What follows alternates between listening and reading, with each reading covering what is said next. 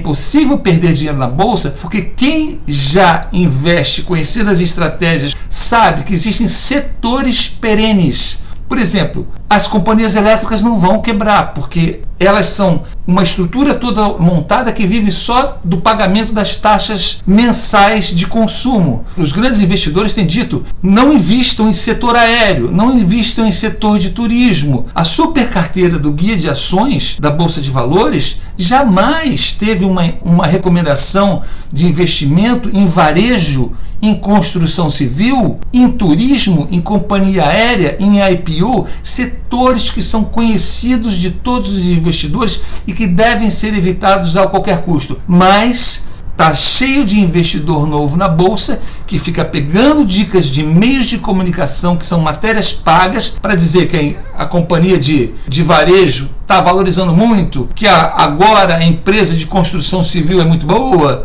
Enfim, Está aí para vocês verem as empresas de turismo desabando, as empresas de aviação desabando no mundo inteiro.